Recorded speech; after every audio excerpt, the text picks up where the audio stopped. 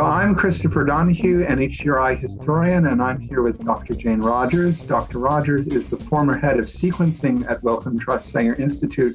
She was also a part of the International Wheat Genome Sequencing Consortium. So to begin, uh, tell me a little bit about when and where you were born and your early life and, and education. Okay, so I was um, born in 1954 in Southampton in, in the UK. And I was brought up from the age of two in a small market town in Wiltshire, so in the southwest of England.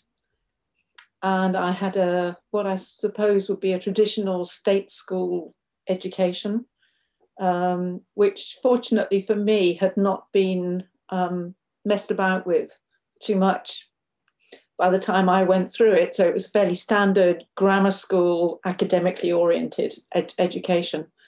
And they turned me out at the other end with, you know, exam qualifications to go off to university. Um, and I, in, um, I went off to uh, Southampton University uh, at the age of 18 to study biochemistry with physiology. Was there any uh, teacher, mentor, uh, early in your life who made you really interested in science, biology, genetics. Typically, when I interview scientists, there's a there's a decisive early influence on on on and that allows them to, uh, people to influ- uh, to study science in a way that um, uh, that is usual for the profession.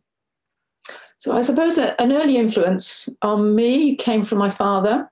He was a pharmacist, and um, his training included uh, chemistry and biology, and we used to talk about that. And he used to talk um, about, uh, you know, we used to he used to help me with homework, um, and we also used to enjoy um, walking upon the chalk downlands in Wiltshire and talking about the specific flora and fauna that you find.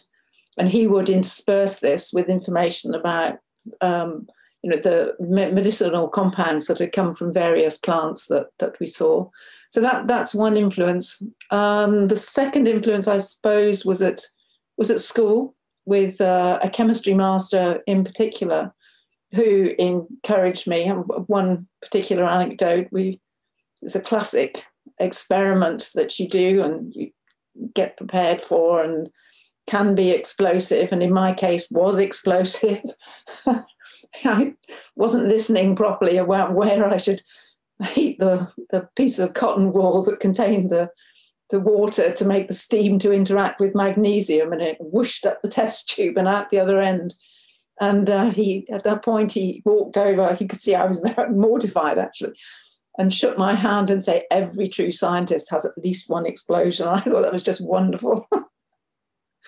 But uh, no, he was a great influence and very, very encouraging, um, and encouraged a, a, group of us actually to sort of go to study beyond the the normal A level um, syllabus in in chemistry, uh, and that was that was helpful.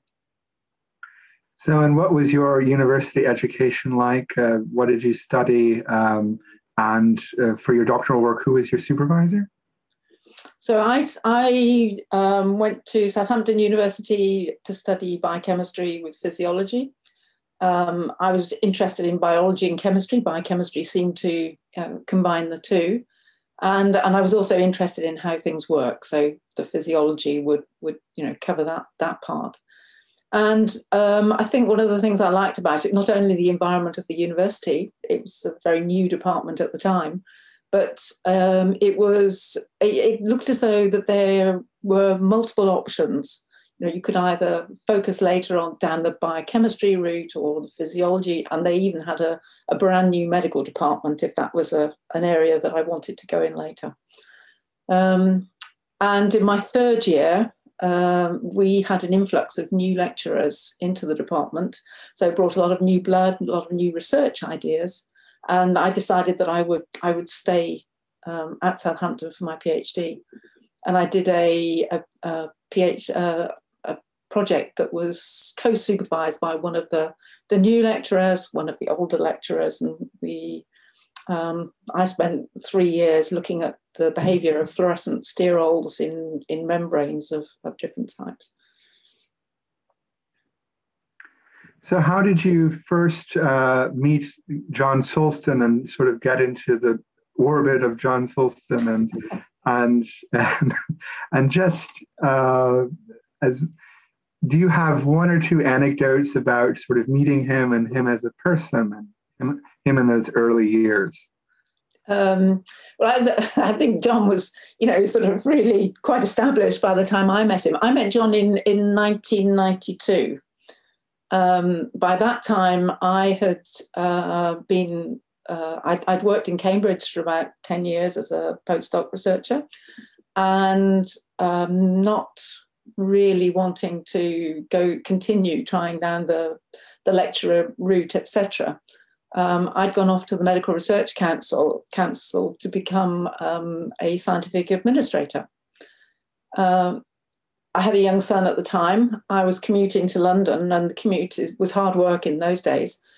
And uh, I was asked if there were any positions available in Cambridge. And I happened to ask at the time that John was asking for administrative help to set up the um, the proposal, put the proposal into the Wellcome Trust for a large sequencing facility. So we discovered that we lived in the same village, and um, I, he invited me to come around and talk to himself and Alan Coulson, his colleague working on the worm, uh, one evening on my way home from work. And um, I, I recorded it ever since as a sort of bizarre interview. So there I was, you know, sitting in the rocking chair in his front room, being asked all sorts of questions by himself and Alan about, you know, how how you manage budgets, um, how how would you set up a, a, a, you know sort of what what is now called human resources department, and could I could I turn a, a an office block into into a laboratory facility, and um, after two glasses of sherry on an empty stomach, I could do anything really. And um, John obviously thought that I he could work with me. Um, so we arranged the the MR, he arranged with the MRC for me to be seconded to Cambridge to work on the um, developing the, the proposal to the Wellcome Trust and and that submission. And then once the the Wellcome Trust said yes, then he asked if I'd like to work with him on the administrative side and to, to get the um, the lab up and going. So do you happen to yeah? Do you happen to remember any of your answers and and, and uh, uh, uh, for that interview? Uh, oh, I can, I, can remember, I can remember with the lab block. I can remember talking about you know theoretically how I would would go about it. I mean, subsequently, I realised that they had a an, an, office block in in mind. There was a, a new office complex that had been built in Cambridge, quite near the airport, and we we later went out and saw it. But you know the, the basically it had been set up as an office block, so there were no wet resources. So that's one of the things we had to to think about, and then we had to think about you know computing. Um, power supply where would you, you know whether it had enough power supply and John was particularly always particularly concerned with whether there would be any backup power supply. You know, we always had to have a generator. Um, he got very anxious about that, and, and when we were at the Sanger, sort of made sure that he knew how how to start the generator if it ever went, if it was ever necessary.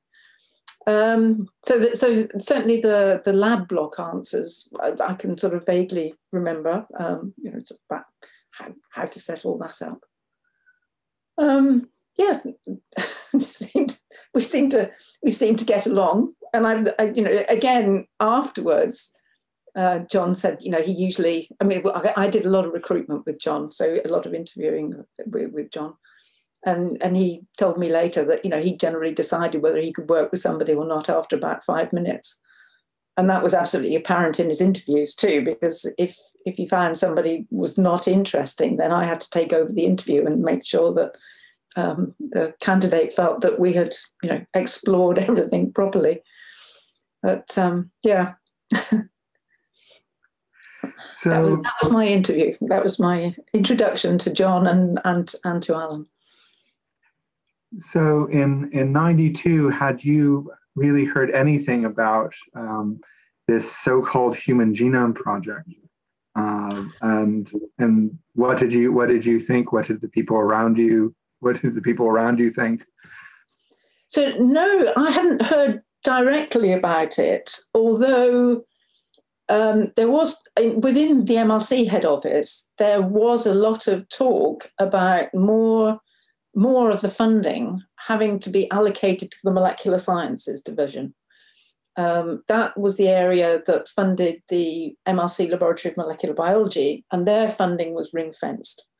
So they they were um, already working um, on the. John was already working on the map of the, the worm at, at that point.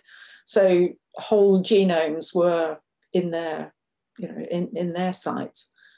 But um, no, I think there was just a, a concern about general concern about what you know how molecular work was was going to go and and I mean for the MRC it was a real worry about where where the money would come from because the budgets were very certainly very tight at that time and and that proved the case later because the MRC um, struggled to find the money to you know support support the worm project let alone do very much with the human so you said that that uh, budgets were were pretty limited during that time. Was there any? This is a related point. Was there any time at which the the budgets were sort of ample or more than you expected, or was it always a kind of sort of scarcity scarcity scarcity scenario? Uh, well, I think when we, I mean, we put in um, an application to the Wellcome Trust for the Sanger for, for a budget for 60 million pounds for five years, which, you know, was an enormous amount of money. And they said yes. And we realized that, you know, we we obviously had to set up system. We, we were promising a lot for that. And um, the costs at the time certainly, you know, wouldn't allow us to, to, to achieve it.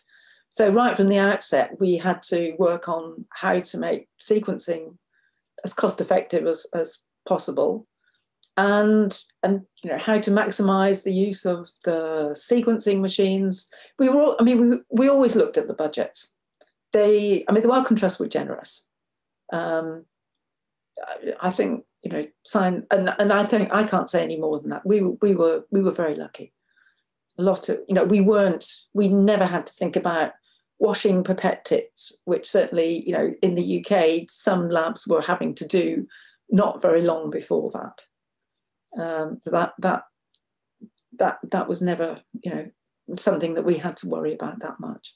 Mm-hmm. But we had to be careful, and we had to, you know, be we, as I say, we we had to make the money go as far as we could. So, as a related question, um, in some, what was uh, John Sulston's contribution to sort of the the worm the worm mapping and sequencing uh, project? I mean, how could you summarize his his contribution and and or try to in two or in two or three points and, and so john's yeah john's contribution to the to the worm was so he he um he and Alan developed the Cosmid map of the worm, um, and John led the sequencing. So, and John established the first sequencing group. That was in the LMB. Um, and that set the model for all of the other sequencing teams, certainly initially with, within the Sanger. Um, he worked, he did the subcloning himself for the for the sequencing project. So he's very hands-on and he enjoyed working in the lab. And he worked through the, the sequencing methods.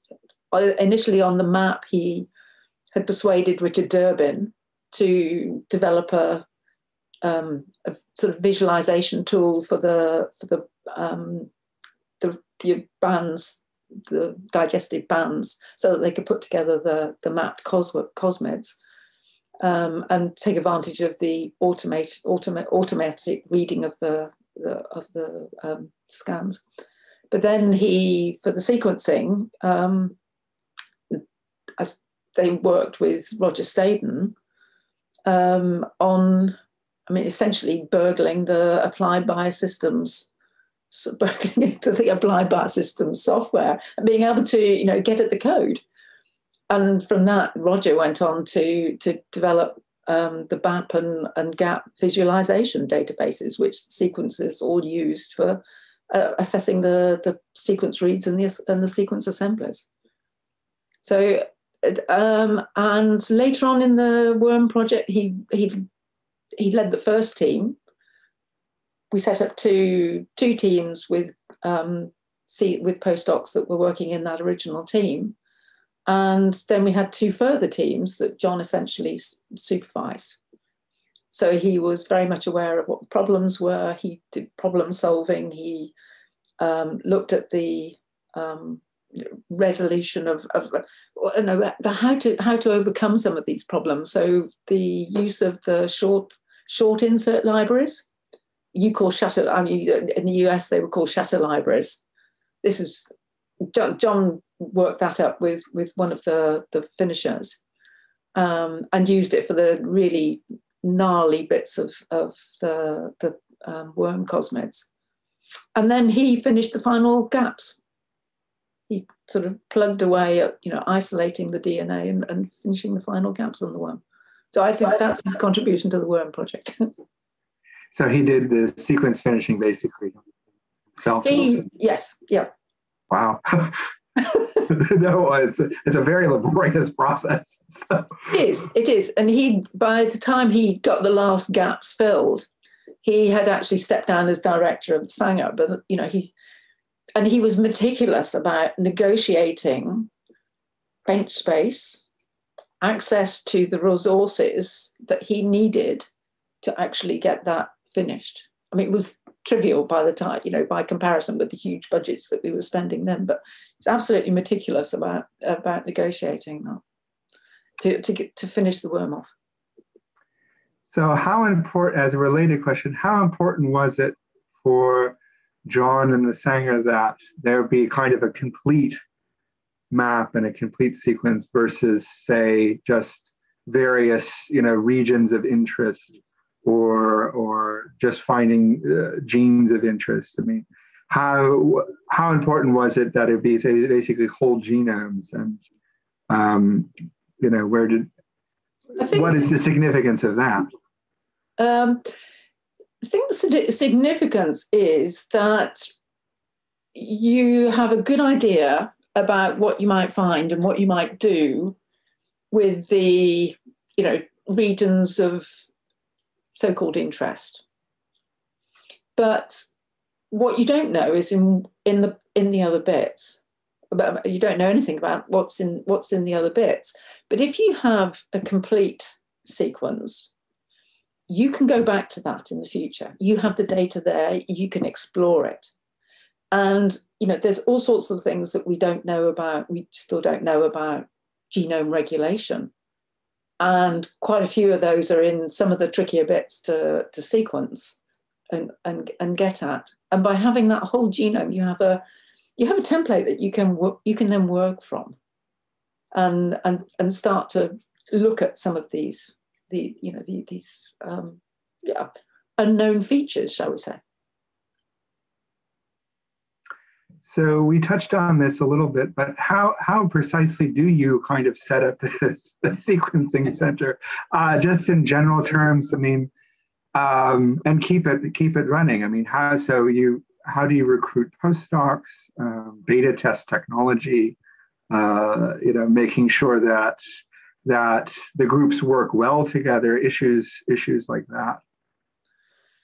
So, um, well, the, the, we set out with this notion of replicating what John had built at the at the LMB. Um, so, in fact, the whole of the, the the original building at the at the Sanger was based on the projection that we would have 17 sequencing teams a nice, you know, precise number, plus one subcloning lab. So you know, there were 18 labs that were allocated to, to, to sequencing. Um, and the, the, there was a structure within the in within the team. So there was a, a team leader, um, and then there were people doing sequence um, sequence preparation, sequence finishing, and um, originally there was a, a subcloner in each of those teams as well. And that was the so that was a sort of model that we started out with. We started out from John's single team duplicating that and having two nematode teams led by two postdocs in the original team. They recruited staff to work with them, but we also, uh, at the same time of working as recruiting technicians, we also recruited people who were going to become team leaders of further groups, so postdocs, who would then work spend some time working with the with the you know in the initial teams, learn how everything worked, and then be able to take it out and and set up their own groups. Um, and we were quite successful in in doing that initially. And we had so that we had the two nematode teams that started, and we also had Bart Barrell's group um, from the LMB, and they were were working on yeast. So Carol Churcher headed that up. And we recruited um, similarly team leaders who worked with Carol initially to learn how to do it, and then we we recruited into in, into the other positions within the teams. And for postdocs, um, I think we must have gone to nature or and science for those initial, and new, it would be new scientist as well for those initial um, adverts. And then after that, when we were advertising for technicians, we went we lo- we advertised locally. I mean, Cambridge has a you know vast scientific population, um, and we were very lucky in that respect. So you know, big university, lots of scientific departments, and and and a lot of the time um, we were also looking for people who sort of had an interest in science, but weren't scientific scientists themselves, but were technically inclined. And, and the ads always had it had in them, you know, we, we looked for manual dexterity and often um, interest in computing. So, you know, computer hackers were always found favour. Um, and, and people who we used to give the certainly the technicians a, a pipetting test as part of the interviews, so that we could we could check two things actually. You know, get people to pipette just water into a, a microtiter plate. Um, you could see whether their eyesight was any good, which was quite important, and you could also then see, you know, what the the manual dexterity was. Um, um, and, and I think that's where most of our recruits came from. Once we got going a little bit, then people heard heard of us. Then um, we would have applications from postdocs to, you know, if, if, there were any posts going. But if it was more on the technical side, then the ads will, would all be um, all be in the local local news. Um, then how do we get going from there? So so building the groups is is step one. And initially, we had um, all of the sequencing work going on in the group. But when you're working in a in a lab, and the LMB is you know very well set up, there were central resources that needed to be replicated because we were we we set up the Sanger initially in what had been an old lab building on a country house estate site um, outside Cambridge. I mean, that's where the I mean, Hinxton is, is where the site is now. But we moved. We originally had to do a refurbishment of a, of, a, of an old. Um, it a sort of electronics lab, I think, that, that was there originally. So um, they, what was I saying? The um, yes, the, the central services that we that we had to set up certain things like um, you know, what the things you don't really think about, you take for granted in a lab, the washing up, the um, pouring of, of agar plates for all the, you know, the, the bac- bacterial culture growth and so on. Um, the um, and, and the pouring the gel plates for the, the sequencers, because we started off with uh, polyacrylamide gels poured you know, for, for the initial sequences. And that we found was better done as a, a central activity rather than the individual teams doing their own. Um, and uh, what else do we have to? Oh, the other central activities, I suppose, that had to be some the lab focused activities. We decided to put a separate group for subcloning fairly fairly early on as well. Initially, the groups teams were going to have their own subcloner, but it worked much better with the subcloning team being very specialised. You know, postdocs were doing their own development work um, as we went along, as well as um, overseeing the routine production of, of um, subclones for, for, for, the sequencing project. Um, um, from there, having so the the sequencing was initially within within the teams. Um, as time went on, we built the capacity. We looked at how to automate it. Um, use of pipetting robots initially. Um, we had colony picker that was developed in house. In fact, it, it was able to pick M13 plaques as well as pick colonies. Um, and it always struck me as, as ironic that I can't remember the name of the, the company who produced the colony pickers that were used in just about every other large sequencing center except ours, because we actually had our own. And this company is a British company. but um, so, and we but setting up sequencing reactions tended to be manual for quite a long time, actually, because of the problem of not wanting to waste the sequencing mix. That was so valuable that we, you know, putting that in trays and troughs to be allocated out. Um, we, you know, we needed at least um, sort of level two and level three robots um, working before before we got to that. So we built up in the teams. We needed more sequencers. We had to, um, we initially added sequencers into the, the sequencer teams, but then it grew beyond that. And it made sense to look at centralizing various activities. And this, I think, was probably in parallel with, with other groups doing, you know, doing similar. Um, the, so moving the sequencers to a, a central facility and having dedicated sequence loaders, which went with the sequence plate production initially. Um, and then we, we had um, we, we separated uh, this was the real scale up for the for the human genome project. We separated the production staff from the finishing staff. So we have production teams we have finishing teams because they do they do different things um, how do we keep that all going and keep people talking? Well, meetings, lots and lots of meetings, lots and lots of communication. Did we always get it right? Certainly not. Um, people, you know, people used to get upset and feel that they were, you know, not being taken any notice of and being un- overlooked.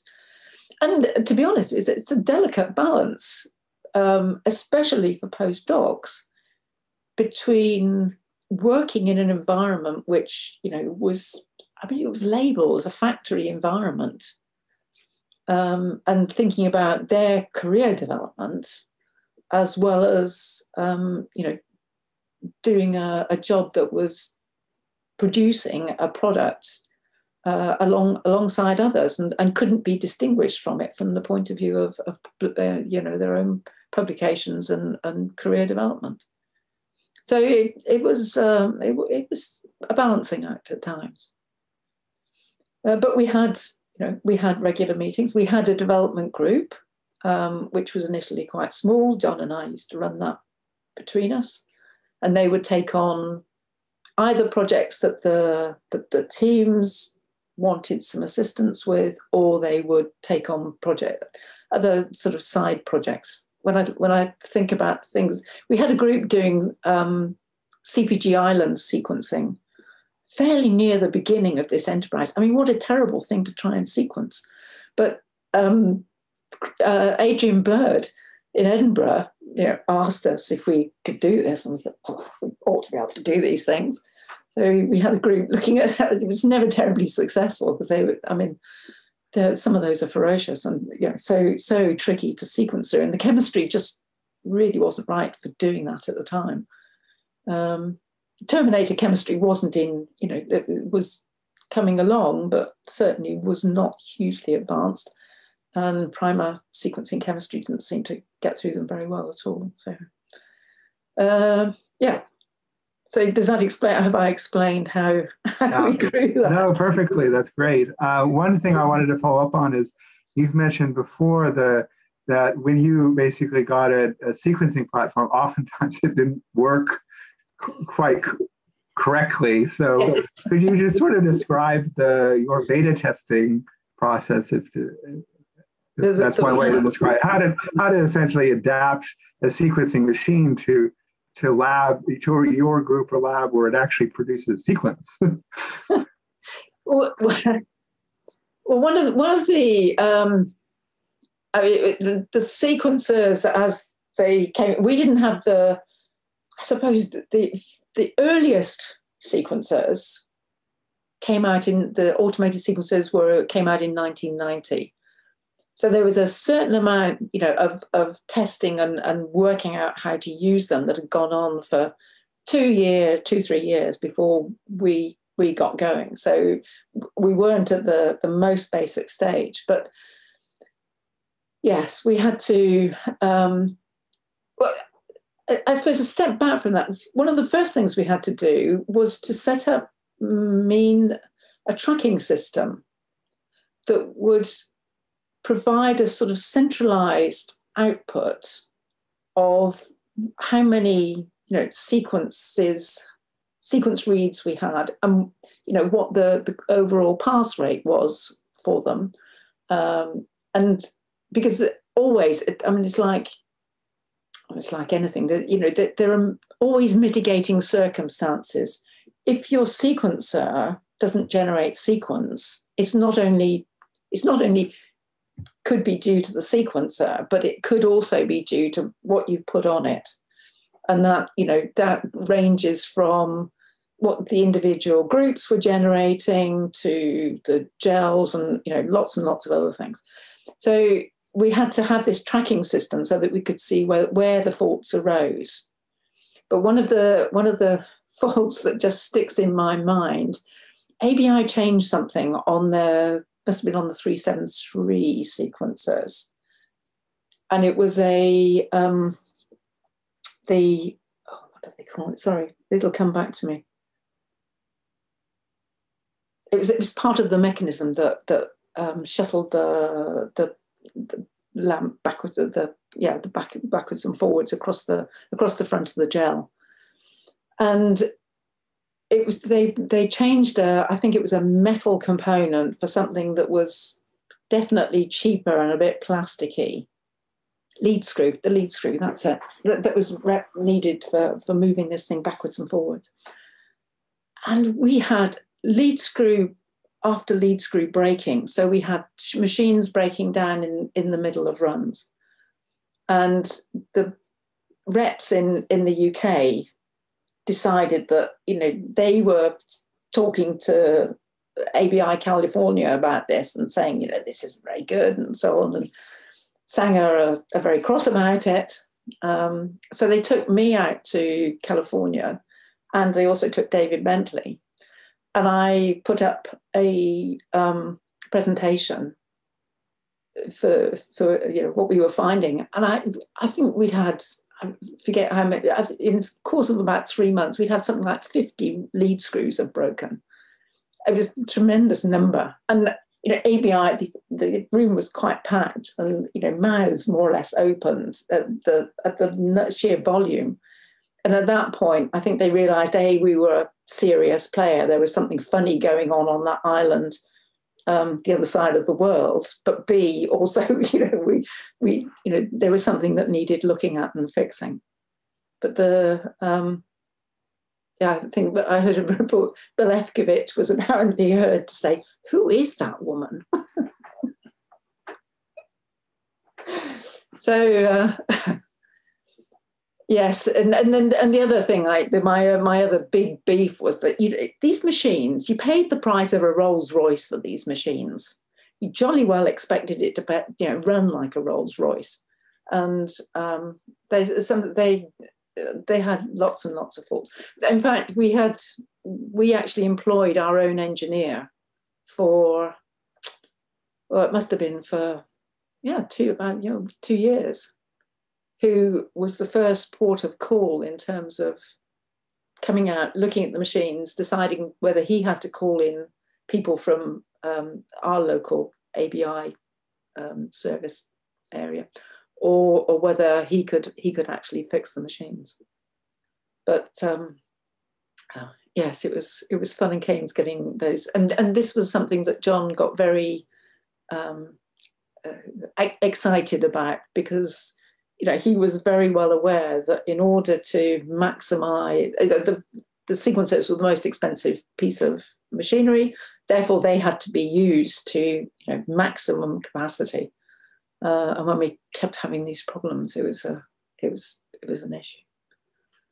Yeah, that's a really illuminating series of stories, and something that I've that I've always wondered about and always ask people sort of around the same questions is how do you kind of test out these sequencers once they get into your labs and what and what happens? And and there's kind of a unanimity of, of of uh, oh we have to change lots of things that they didn't work very well or we had to employ our own engineer for example. It's fairly common.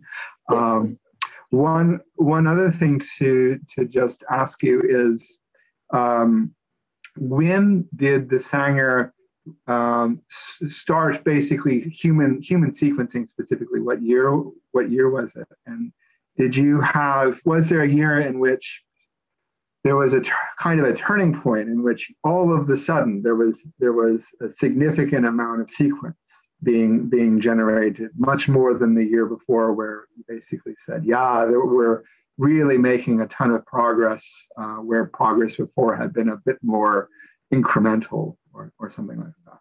I think so the first the first human projects that we took on were actually in 1993 and that was um, a couple of i mean we had some cosmids from the huntington's um, region on chromosome 4 um, and we had some x chromosome and actually some chromosome 22 cosmids so both of the X, both the X and the 22 came from David Bentley's group, and they were really um, sort of pilot projects uh, to to look at whether cosmids were suitable sequencing templates. Um, and progress, we used the, the same techniques on those as we were using on the worm, and it was clear they were not as easy to assemble. And in fact, it wasn't until some further work had been done, you know, on the um, when Phred and Phrap were introduced, Phrap in particular, to to assemble the, the clones, um, that it began to look a bit more viable. So those early projects, I mean, they started off at the beginning. We didn't do a huge amount, and the other thing that they did illustrate, though, to us was that cosmids were not a good um, uh, template for the for sequencing. Um, the overlaps were between the clones were too large, and that reflected the fact that the um, the mapping mapping of cosmids was not ideal for the human genome either. So David took that on board and um, and started work with with large insert clones, and we worked with the PAC libraries from Pieter de Jong. So, was there a point where things started to go more smoothly? You'd hope so, wouldn't you? I think um, when we got through, the, you know, the initial teething problems with the with the sequencers, um, probably 95, 96, things started to take an, an upward turn. By the end of 96, we'd finished the Yeast project. So that felt like a, a significant milestone. Um, the worm was, you know, trundling along nicely. That seemed to be under control, and we were starting to make some inroads with the with the larger insert human clones. Um, yeah, I think I think I would say 95, 96. So that really coincides with the you know the timing of the the first Bermuda meeting as well. Um, and and you answered the question I also should have asked you, which is what were the challenges of say human human sequencing versus another another model, and was was there anything specific to human that you needed to to modify or change? The, the repeat the re, repeat repeat sequences were were a problem, um, and Phrap yeah Phrap actually did a good job at, at the assemblies uh, it did. We were using the Staden assembler before that, and uh, and Phrap was a was a better thing to turn to. Um, what else happened at that time? We we I think it was around that time that the focus moved from using uh, the primer chemistry, fluorescent primers, to the um, fluorescent terminators, and that was a better sequencing chemistry that um, yeah, I think I think those those two things. You've mentioned David Bentley several times. I mean, just to go into kind of sort of who who he is and and you know what what he did at, at Sanger and kind of how he how he came to Sanger would be really really interesting because I've been read that from him. Yeah, yeah, I've interviewed him as well. So. Yeah. Yeah, no, David. Um, when John was looking at the the initial project, so John's interest was in in the worm. Um, the well, it, but Aaron Klug, who was the head of the LMB, realised that if the UK, if the UK were going to keep John here, and and working on you know genomes and especially the worm genome, that's funding had to be found. I mentioned earlier that the MRC, you know, would not have had the money to to support this. So it was Aaron that went to talk to uh, Bridget Ogilvie, who was then head of the Wellcome Trust. And the well, Wellcome's view was that they would um, they wouldn't support the worm project, but they were very interested in translation of the technology to the Human Genome Project and to the UK making a substantial contribution to, to the human genome sequence. Because um, they seem to have taken it on board already that you know mapping and sequencing would um, open up a lot of new new avenues and, and that the human genome sequence you know would need to be done and that of course follows on the the um, all of the, the meetings in in the United States so when John thought about the, you know, the obviously he um, the the which projects were going to be part of the of, of the work at the Sanger, his interests were he brought the worm, bought, bought the the yeast, and he um, thought of David for the the human uh, human genetics element because David and Ian Dunham had been working at Guy's and they had talked to John about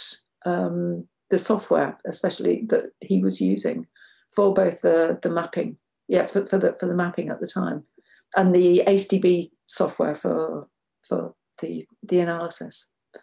So he, that's how John knew of David, and he knew that David was not just another human gene hunter that he he was interested in in the ge- genome side of things. So he invited David to uh, join and be part of the proposal.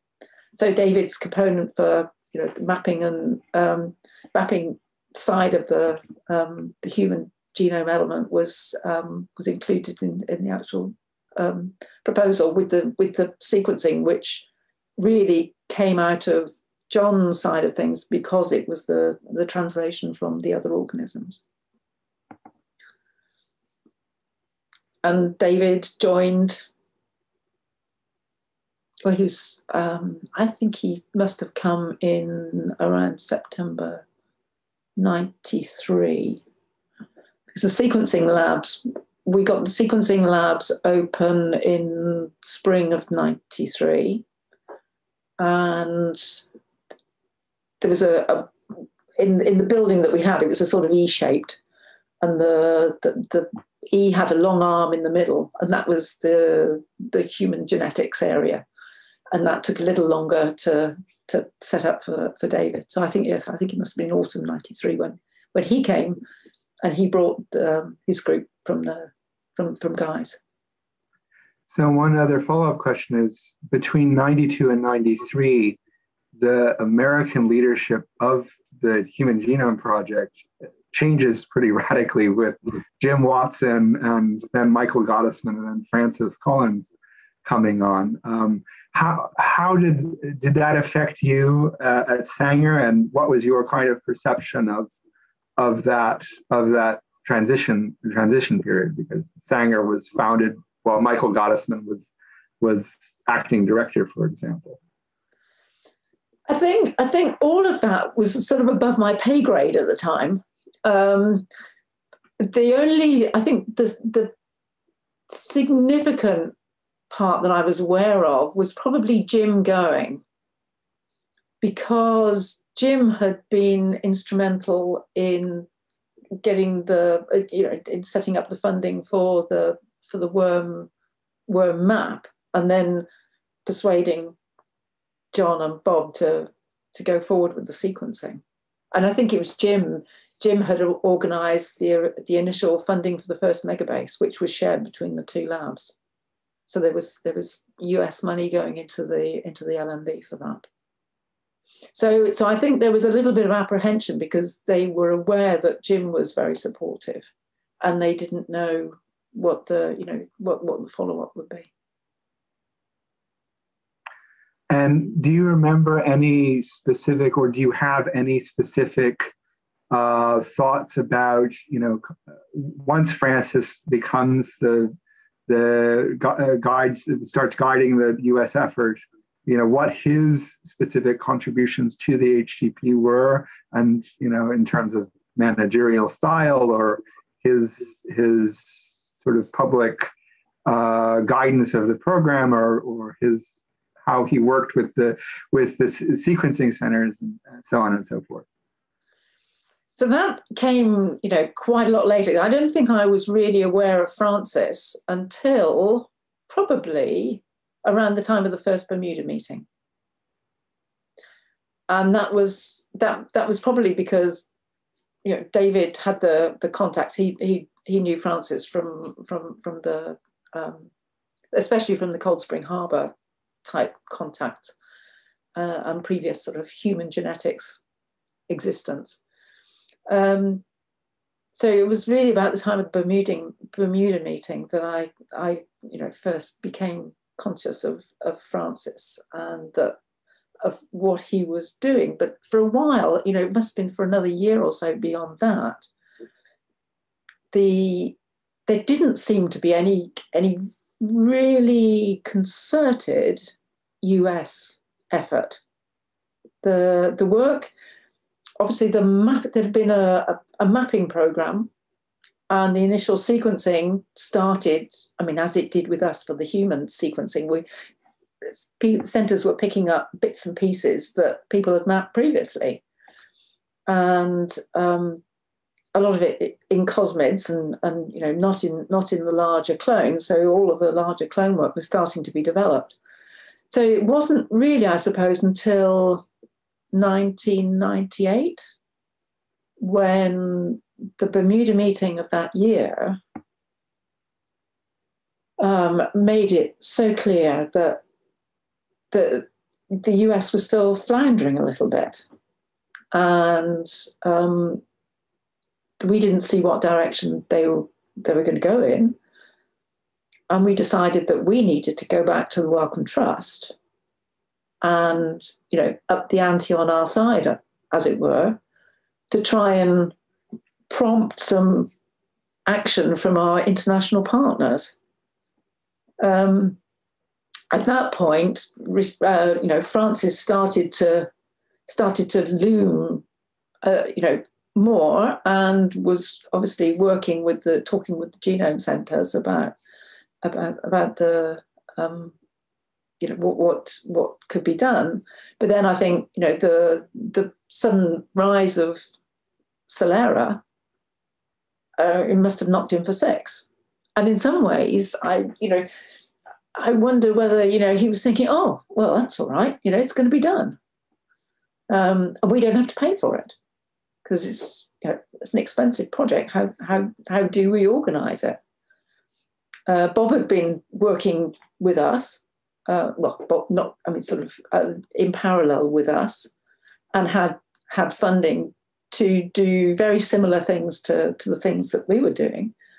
Um, but other centres weren't as far advanced um, at, at all.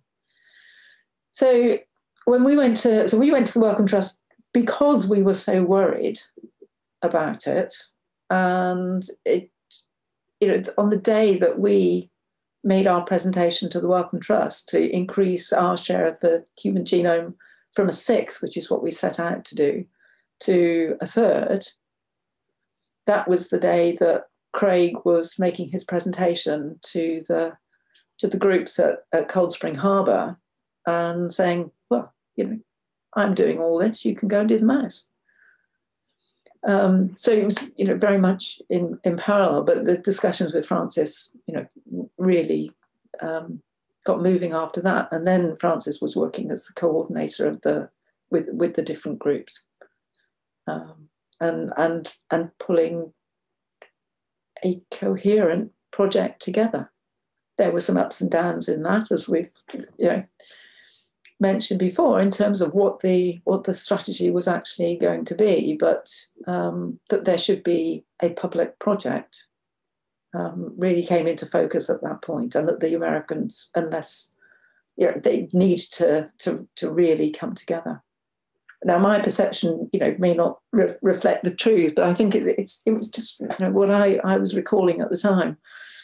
No, it's it's really interesting because in the period that you're describing, from say roughly Bermuda 96 to roughly Celera, is when you have the sequencing pilots, um, mm-hmm. and then you have the quality assessment exercises, um, and uh, then you have uh, basically the, the sequencing centers finally producing uh, some some sequence.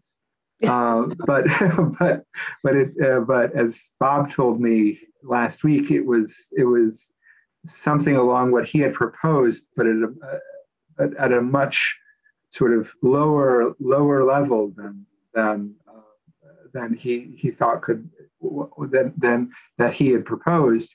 So, but that's an interesting um, that's a very interesting view because uh, that no that's that's actually quite quite remarkable. I'm I'm not yeah that's no. So what was the what was the your perception, for example, of the quality assessment exercises um, where you had uh, basically uh, the everyone's sequence was essentially a, a quality assessed by by another another group, and I think it happened in um, 90. The first round was in 97. Was that was that useful to to, to your group, and and were there any surprises? Uh, you know, it was useful. It, it, it was it, it was useful to. It's always useful to have you know feedback. Um, Yes, I, what, what were the surprises? Yeah, some of our clones didn't come up as well as they should have done. I thought, there were, you know, there were. We were doing things. We were we were doing things differently, and that accounted. That certainly accounted for some of it. Um, but you know, it's a good it's a good wake up call, and I suppose you know one of the things that we always reckoned to do was to smooth things out in the finishing stage. Um, but again, having some, you know, intermediate feedback on on how we were doing on that. No, it was it was a useful thing to take part in. Painful, um, very laborious. I seem to remember, and can't remember. I can't quite remember whether the whether the first exercise involved us resequencing and reassembling. I think it must have done actually um, to do to do that comparison. So yeah, yes, I believe so. Was, yeah, yeah. So it took quite a bit of effort to to do it. But yes, no, it was um, it was useful. It was useful. And and what in your this is before I ask you about the uh, the library development, which is not a topic that, that gets much attention, although it really should. Um, what was so? Were you at the the '96 Bermuda meeting? And yes, yes, and so sort of just in two or three, uh, you know, two or three points. What was the what really was the significance of of of that meeting, and in particular, sort of not simply the data release, but the ac- accuracy and contiguity standards. I mean, uh, how did it, how was your assessment of the significance of those features as well? Well, uh, accuracy. This is the ba- the base pair accuracy. Um, you know, I can't, you know, to be absolutely honest, I can't remember much discussion of that at the time, but maybe that's just because it didn't come up in the bullet points in the end. I mean, we, we had, we had previously been working with Bob's group and agree, I think we had the agreement that the sequence should be double stranded it needed you, had to have a strand going in each direction really to be able to call to, to call the assembly accurately. The Phred quality had to be Q20 or above, which meant that you know the base error in a, a single base error had a probability of less than um, one in a hundred. Of, of, sorry, a base had one in a hundred prob- probability of being an error. So you were saying that that was that was a high quality base call. And when you put those together, then then you came up with a with the Phrap score. But it really fell out of those those scores that we were using all the time. Um, so did it make a significant impact on me? No. Because we were essentially already doing it. Did we need a wake up call to make sure that our sequence really was that accurate? Yes. Um, yes, we did, and that that came with with, with the exercises. The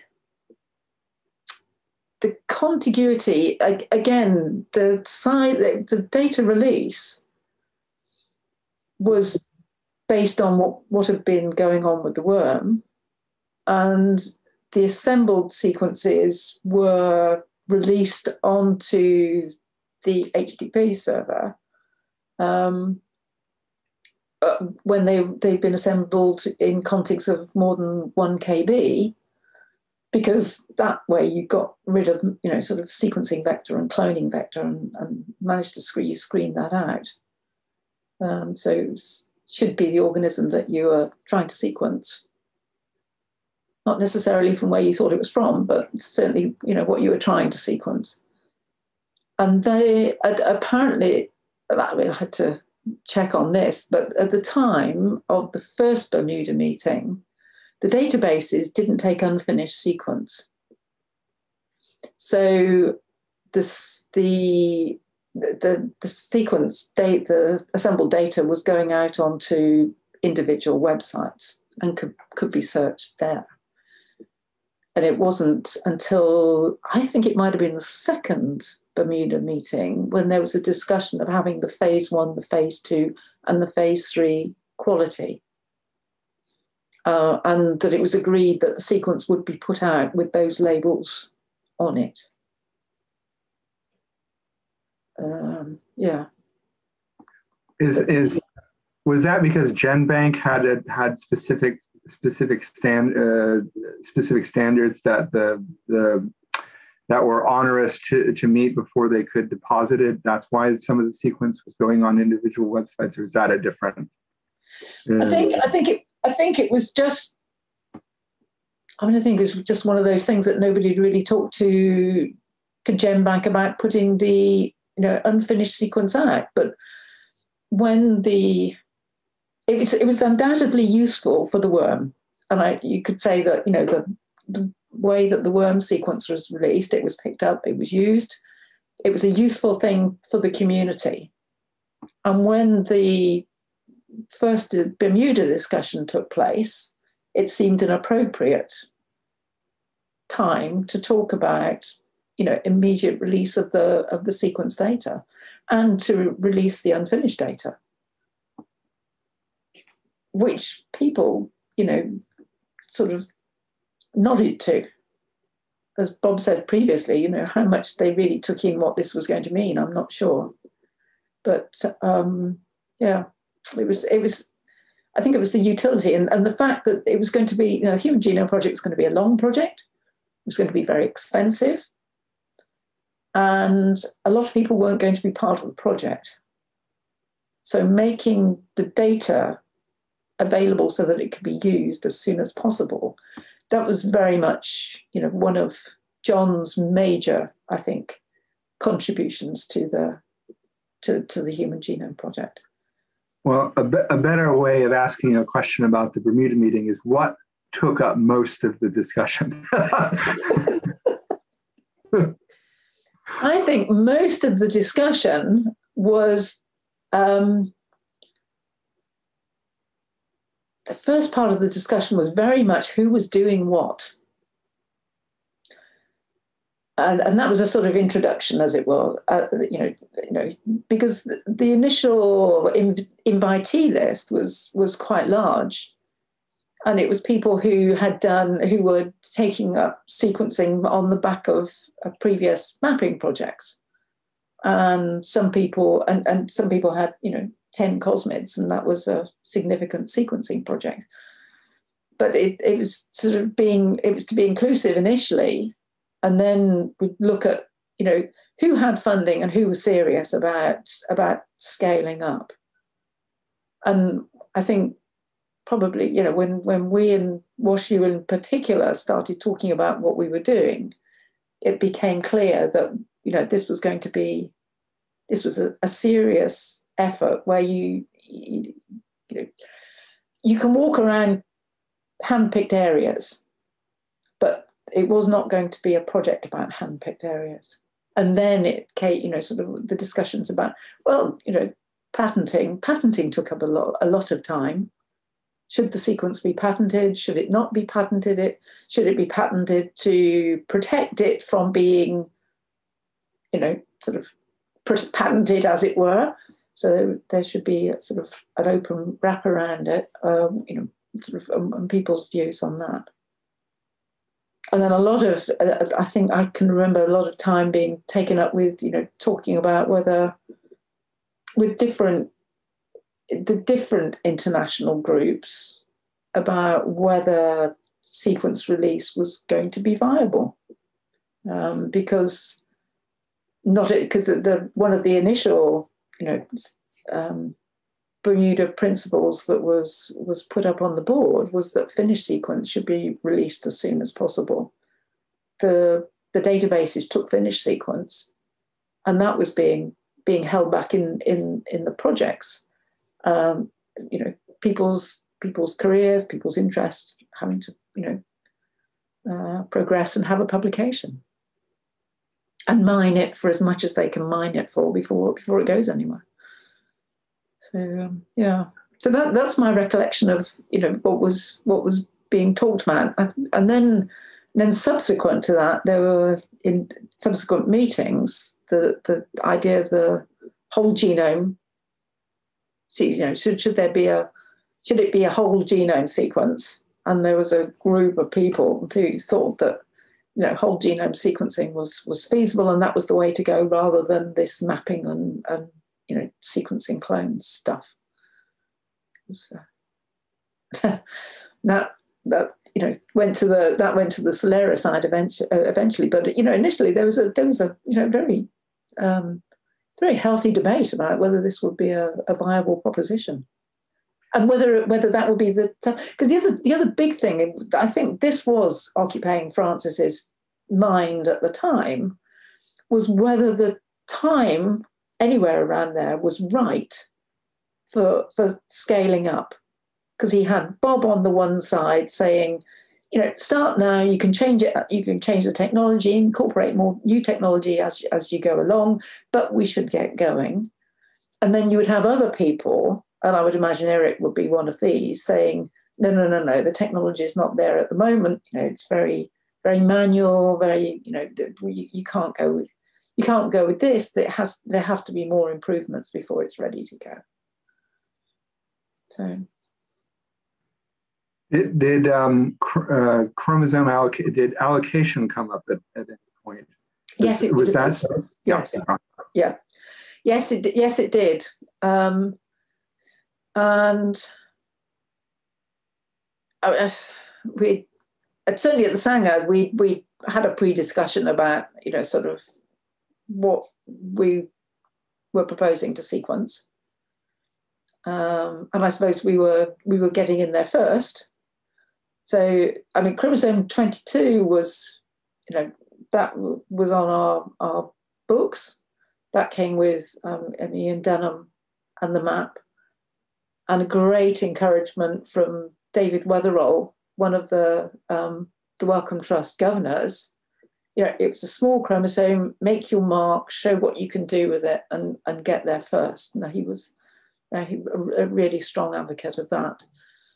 Uh, the X chromosome um, was an interest at David's. Lots of people were interested in the X chromosome, though, and a little um, really a consortium of groups interested in the X was was put together to to work on that. Once once essentially it was said that Sanger would sequence it. Um, chromosome six was an early one of ours, um, and that came with Stephan Beck, uh, who was interested in in the MHC. Another another wonderful region to be starting off with. Um, and so, yes, those were our first ones. And I think, you know, and, and they, those were associated with people in the UK who had been working on, on previous projects. Beyond that, um, David came up with a list. I mean, 20 was the next one that was included in the in the first group to get us to one sixth of the of the genome and then when you know we when we put in for for the for the next um, for the next sixth, really we were looking at which chromosomes hadn't been taken by other groups. And I can remember um, in that first meeting that so they were interested in the um, the DOE had interests on 5, 16 and 19. They'd had mapping pro- they'd had cosmid mapping projects on on all of those chromosomes and they stuck with with with those chromosomes. The Japanese were on chromosome 21, as well as collaborating with Ian on on 22. Um, and Bruce Roe was also interested in in parts of 22, um, and those are the ones that stand out. And I know that um, David Cock, Cox, I think, um, in Stanford was involved with, um, he was involved in some sequencing on chromosome four. But eventually that chromosome went to, went, went to WashU. But the, so it, it really, you know, the division went along um, previous interests for the most part, certainly to start with. France put in a bid for a chromosome, and I think they got funding for um, chromosome 14. I'm not sure whether they, there was anybody in France who was interested in that or whether that was an untaken chromosome at the time. Not, I'm, I'm not absolutely sure about that. So that's my recollection of, of how it worked. But you, you know, from, from the Sanger's point of view, we felt that you know we put ourselves in the driving seat um, because that was the strategy that we were we were following, and, and we we had the funding to to move ahead with it.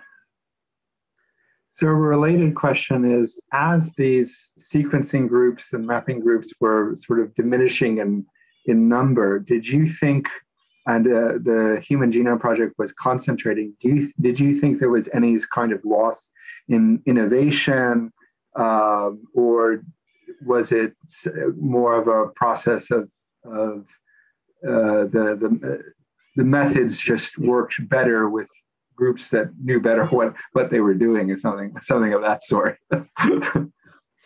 I think we reached a stage where we had to yes you you needed to it worked better with groups who were familiar and and, and had put in a lot of work to refine the process every time you have in, trouble with innovation, it's it's a wonderful thing, but then things shoot off at a tangent, and you don't always get back to the path that you originally set out on.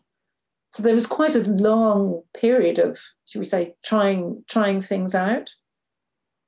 Nobody ever stopped trying things to improve the process, but I think we consolidated on what we needed to do and there were only limited ways in which in which to do that. And the what and the, then concentrating it in the big centres. I mean, it it took it out of the small centres, which some people would be aggrieved at. But if you label it as a factory um, repetitive process, did they really want to be doing it? And did they want to be doing it you know, to standards set by somebody else, etc., in the timescale set by somebody else. And I think a lot of groups didn't want to do that.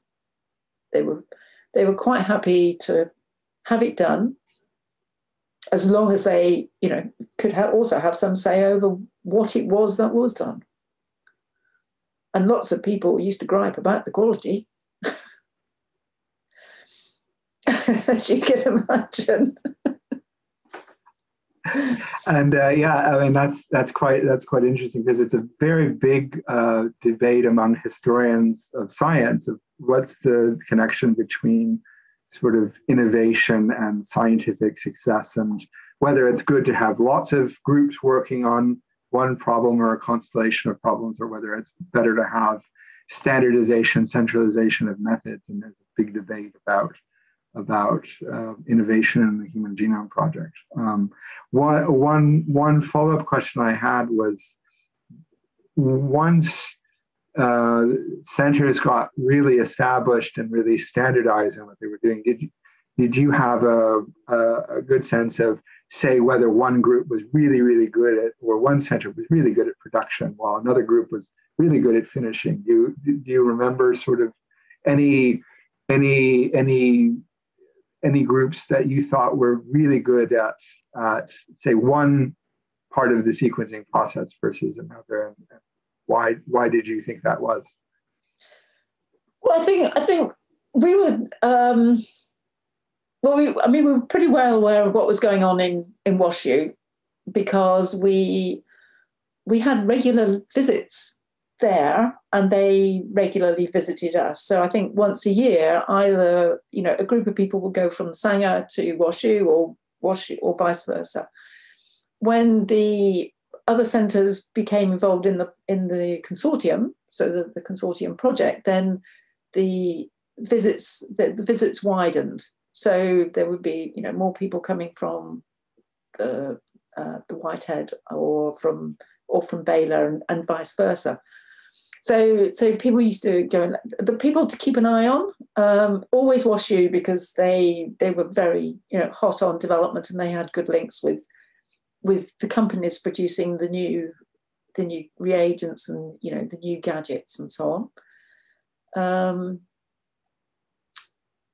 the Broad were interesting once they got that production line up and running.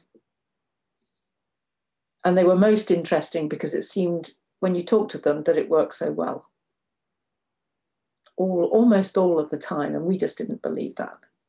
but you know that was. um, but it generated it. It you know it it you know, produced secrets, and it was impressive the way that they'd set it up as the, as the you know the the long flow pipeline that you see you know in the, in the human genome paper, the first one. Um, so Baylor Baylor were quite they were sort of quite consistent. They came through on the finishing and the innovation in the fin- on the finishing side quite often.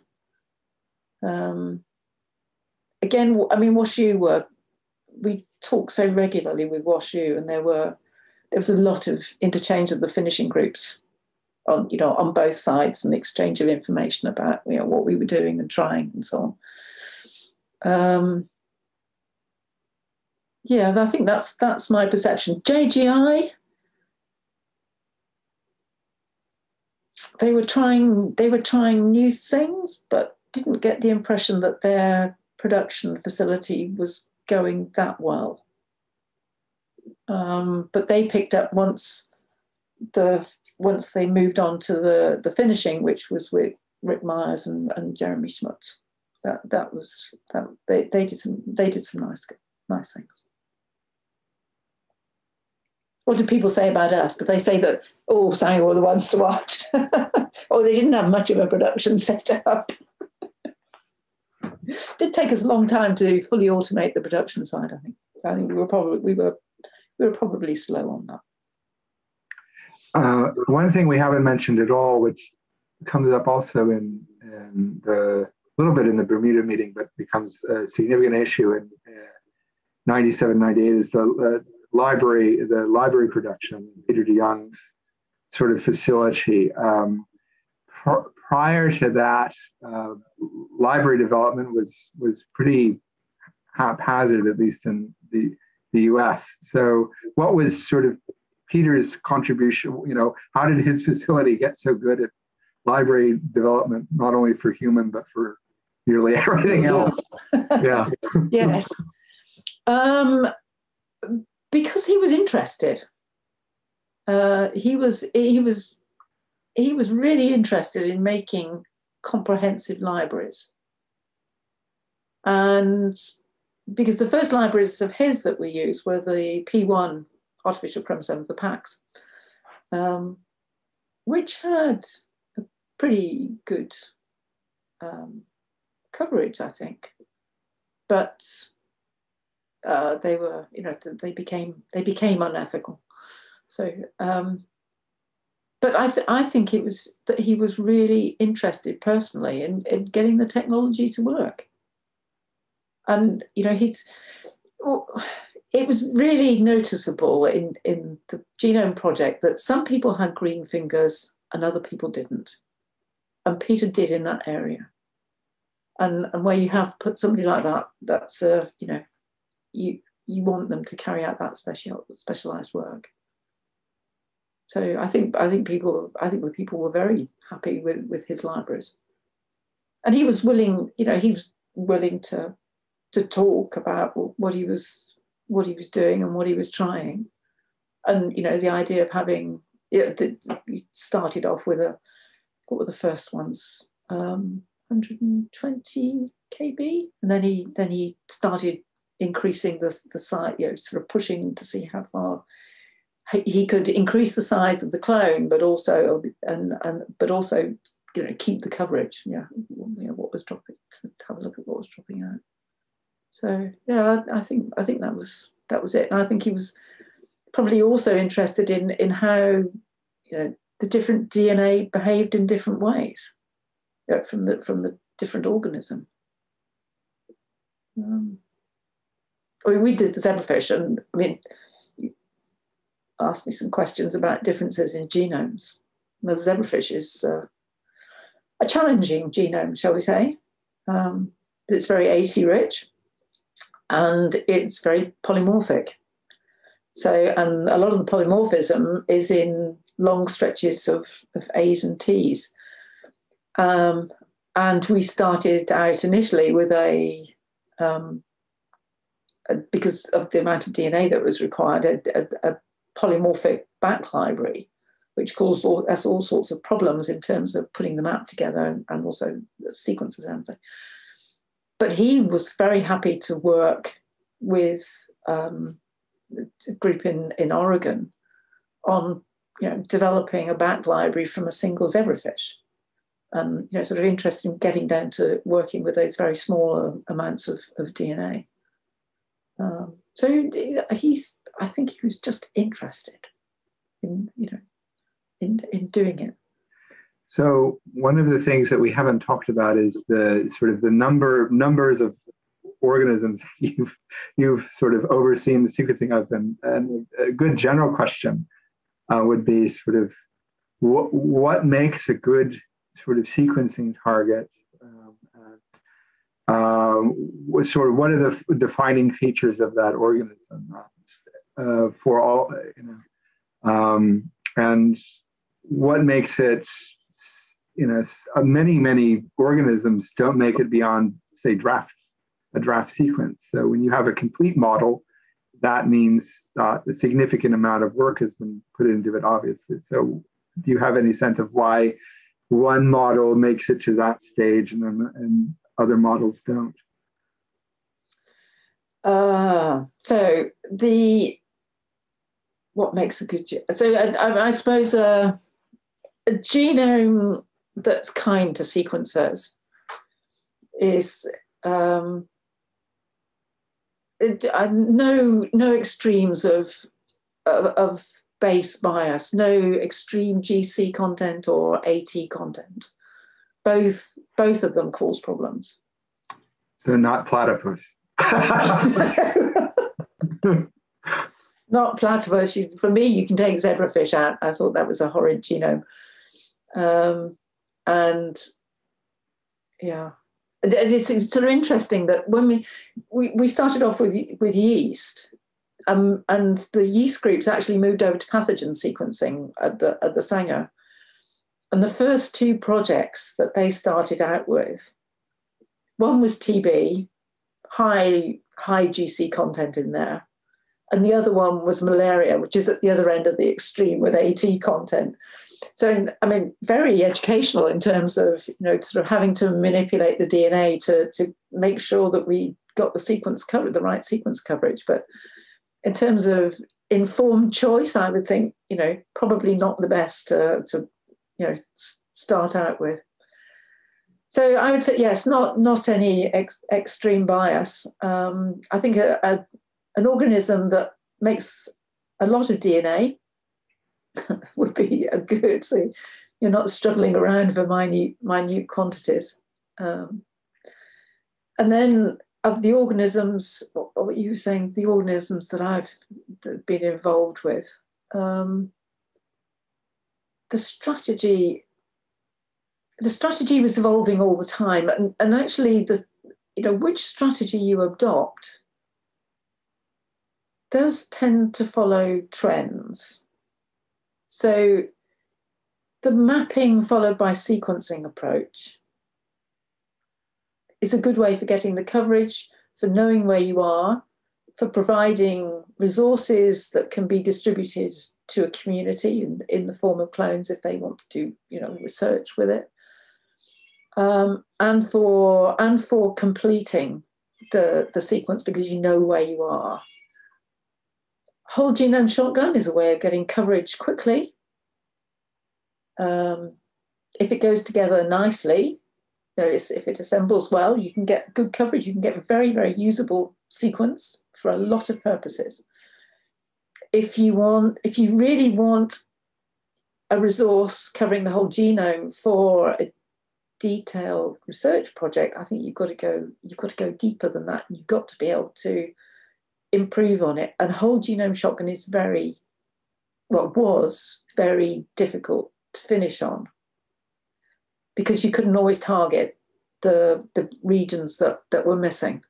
I mean, it was difficult enough with if you were trying to work, you know, in gaps between clones. You knew you knew where the you know DNA piece of DNA that you're interested in should go, but they, if you're then going and trying to hook it out from from you know the, the DNA in order to get a piece to sequence but if you haven't, if you don't really, you know, if you haven't got that much information, I think, I think for a usable genome, you've got to have mapping information combined with sequencing information. And mapping has become untrendy. And I was berated on more than one occasion by you and Bernie for being backward in the way that I was, I was you know, going about genomes. But the I tended to, if people ask me about doing a genome project, I tended to ask them first what what they wanted to do with the data. If you want a, you know, an overall analysis for the data, that's one project. You know, very often a whole genome shotgun would give you that. If you want if you want to base a you know a very detailed research project on it, you need to have you know improved sequence in at least the areas that you're interested in, and and you have to have a way of doing that. So um, yeah, we had some. No, it's a it's a fascinating debate because I had the same conversation with Harris Lewin about whether all all good sequence and all good analysis needs good maps. Mm-hmm. And he was really adamant that with shotgun you cannot get the analysis that you need for many questions of evolution and questions of of say compare for comparative questions.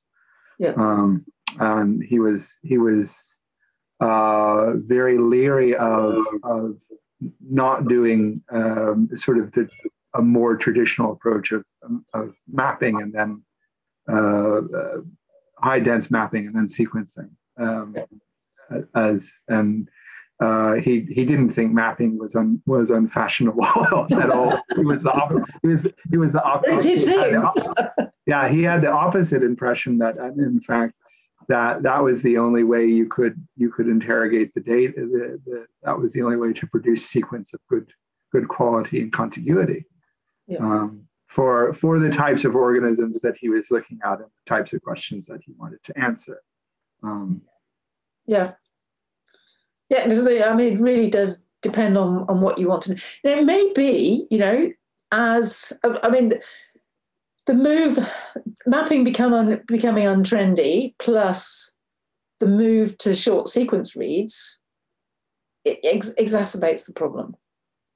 But it may be that you know, if the reads are, are now getting longer, you can get better better assemblies from just sequence data, then you know it may improve. But I still think, I mean, you've still got to have a map of some sort, just to link, you know, the genetic side of things with the with the sequence. I think.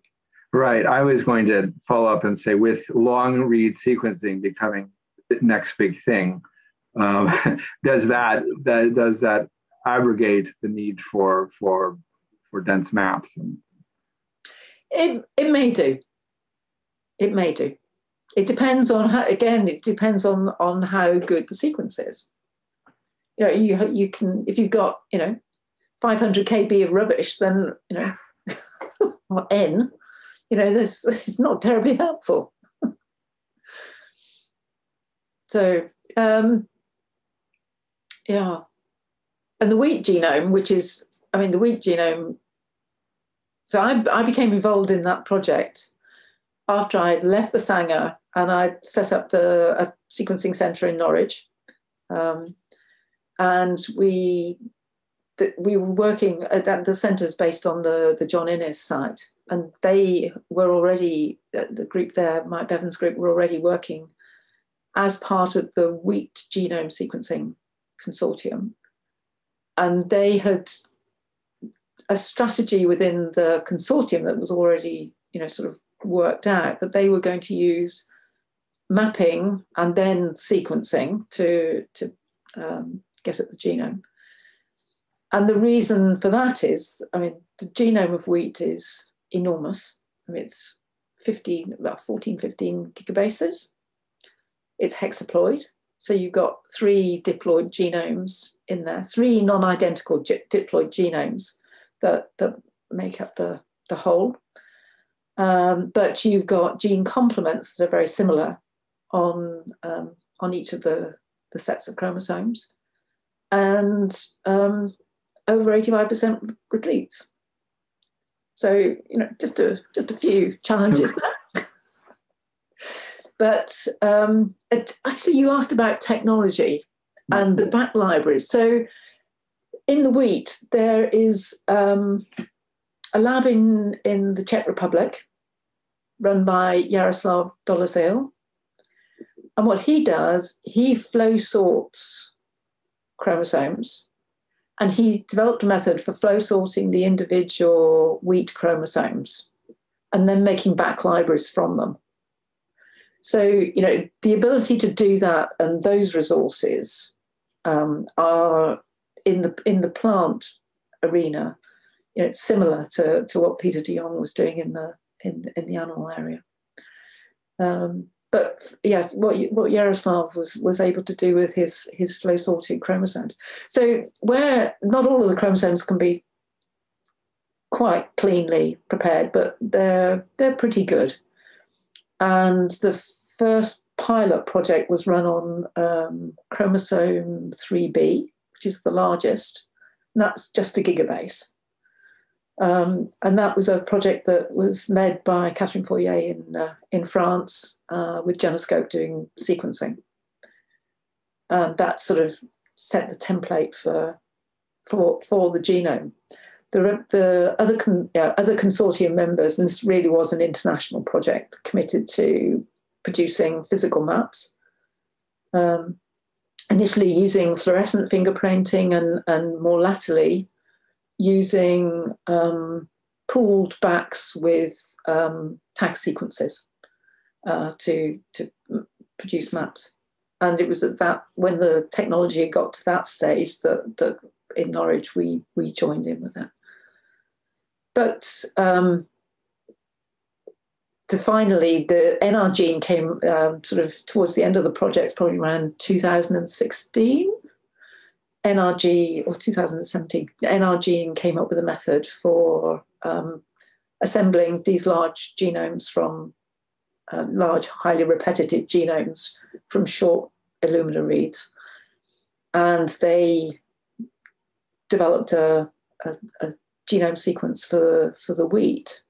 But what we were able to do was then add in all of the resources that had been generated previously so the physical maps, BAC end sequences, sequence tags from, from mapped BACs, um, chromosome specific shotgun reads, shotgun data, so that we knew, you know, which chromosome, you know, sequences lined up on. Um, I put all that together, and I think the product was was pretty good in the end, actually, for for a genome of that type. Subsequently, they've added in some bionano data, um, bionanopore data, and some more um, shotgun sequence data and resolved some of the, the problems. But you know, if, if, if after a first after the first round you're resolving with with the with the additional bionano mapping information, you know, ten percent of problems, that's not bad. It's not bad at all and I think I think it's actually proving to be quite a you know quite a useful resource for for research, which is what the intention was. So that and, and I, as I say, when I was at, in Norwich, we we started off the, the the sequencing side of things and generated whole chromosome shotgun sequence data, which assembled into you know two to six kb contigs, really rewarding. Um, but yeah, uh, but it, but it was useful in terms of positioning um, and and and giving a, a, a first, I think, genome wide glimpse at genes. So it was you know useful to a, useful to a lot of people. And then I, I worked with the consortium afterwards um, when, when when I um, stepped down from Norwich, um, just helping to you know guide, I think, the process to, to towards getting the whole genome. But yeah, in, an interesting project. Hmm. So I actually think we've gone through almost all of my questions. um, one, one, one person we haven't mentioned at all, and I, I just want to discuss him briefly, is Michael Morgan. Um, oh, yeah. yeah. so we forgot we forgot Michael Morgan. So I guess in in just thinking about his uh, uh, role and uh, role at Sanger, his contribution, a few one or two anecdotes, something like that. Oh yes. So well, Michael. Um, yeah, my, Michael was there as a sort of, I mean, both to encourage us, um, as a sort, and in ways, a sort of fixer, but also as a minder, I think, and um, to make sure that we didn't go completely off the rails. But also, he, I mean, he played such an important role once we once we were going at integrating what we were doing at the Sanger with what was, you know, with the international project. And and you know, with John worked on keeping the project as an international project when there was, you know, a threat at one time that it wasn't going to be. Um, two threats actually, but you know, so so um, so Michael yeah, Michael used to, what can I say? I mean, he used to come and, and you know talk with John about about what we were doing, and you know, of course, he he came from the administrator side of the of the Wellcome Trust, so you know, it was in, in I mean, I had to go down and, and you know justify how he was spending money at, at various times. But also he wanted he wanted the Sanger to be a success. He enjoyed it, um, and he sort of encourage he, he he encouraged us, and he didn't encourage us to break the rules. I just have one one you know. I've got there are two two two big memories of Michael. One is when we were talking about the the pathogen sequencing. The, the Wellcome Trust used to get quite agitated at times that we didn't go over budget on you know any in any particular area and we knew that to finish what we were doing on TB we were going to go over budget. And only a certain budget had been allocated. And um, I had gone down I can't remember whether I was John with John or whether I was I was probably with Bart actually.